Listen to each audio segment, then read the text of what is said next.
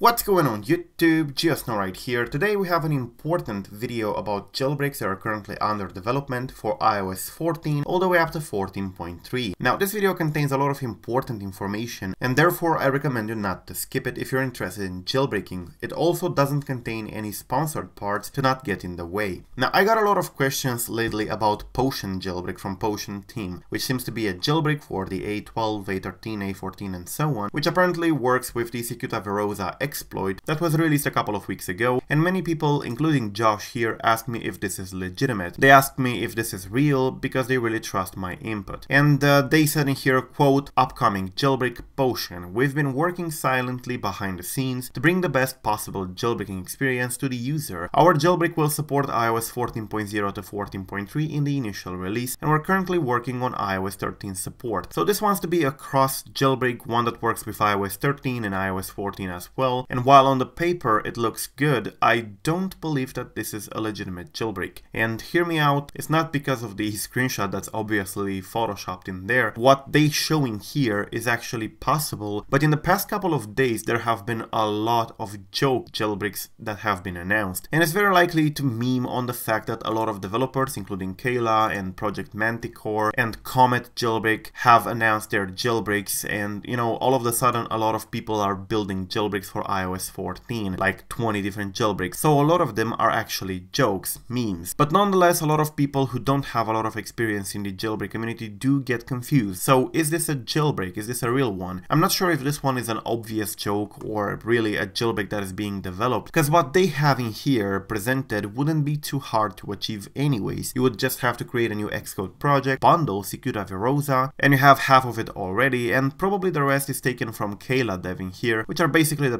patches for the sandbox and AMFI and root and so on because that's basically what this jailbreak in this picture does. It runs the exploit and then it gets root and escapes the sandbox and that's basically it. That's as far as any other jailbreak that was started has gotten to on iOS 14 including Comet as far as I know and Project Manticore and Kayla's rootless jailbreak and so on. So even if this is indeed real and it's not a joke, it doesn't do anything special than the rest of the amateur jailbreaks did at this point. So while I'm not sure if this is completely a joke, which it might be, because as I said, there have been a lot of jailbreak jokes lately. Even if it's not, it's not a full jailbreak yet, and it's nothing more than what Kayla Dev has, or Project Manticore has, or even Comet. But speaking of Comet, I know this was a jailbreak that was announced as open source a couple of days ago, like a week ago, but in meantime, the team behind it actually stopped working on it, and they argued and they split, and apparently there are a couple of IPA files of this jailbreak actually circulating on the internet as being complete jailbreak. Please don't use anything Comet jailbreak, it's not complete and it may even be dangerous. This project is officially considered dead and I don't think anybody is still working on it anyways. And if they do, they're amateurs anyways, so I would definitely not try this on my main device. Of course the best jailbreak project that you should wait for at this point is Odyssey Jailbreak and once Pattern F releases their TQ pre-jailbreak in a couple of days as they announce here, Coolstar can take it if you remember they said quote, excited to see if this releases, should be able to turn this into a full jailbreak very quickly if this drops as we've been mostly looking for more stable read and write primitives. Also would be nice if we don't have to burn a new technique for getting Amphi task port. And that's exactly what Pattern F is going to release here in a couple of days. So the best jailbreak option right now is not using an amateur jailbreak from whatever team popped up out of the blue. The best course of action would be to wait for the Odyssey jailbreak to be updated because it's not going to take too much once this is released and of course it's much better. They do have a lot of experience behind them. They do have a pretty solid team behind so definitely wait for the Odyssey. I know there are multiple jailbreaks being developed right now, some of them are jokes and some of them are legitimate, but the best thing to do right now is to wait for the Odyssey. Even the Rootless jailbreak by Kayla Dev, which has a great progress being a jailbreak created by an individual who is not part of a major jailbreak team, is still not a recommended jailbreak to use if you are a beginner and if you're not a developer. While this one is legitimate and it does have real progress, in fact I think Kayla Dev made the most progress compared to the others, well of course outside Odyssey, it's still not a jailbreak to be used by the general public. It's good that it exists, it's good that they try to sharpen their skills, but it's not something that should be used by the general public. If you don't have a lot of experience with jailbreaking or you just want a stable product, wait for Odyssey jailbreak. Now for the Project Manticore, they also seem to be doing some progress. I'm not sure how much of their tools are actually being reused from Kayla Dev, but it's also a project that apparently seems to be continuing. However, it's best to avoid sketchy jailbreaks, for example Potion, about which I know nothing for the moment, and also Comet, which was apparently riddled with drama and arguments. So the best thing to do right now, wait for the Odyssey jailbreak. Even though there are multiple jailbreaks being developed right now, it's still best to wait for the stable Odyssey one. So yeah, thank you for watching, I am GeoSn0w, till the next time subscribe to stay updated and peace out.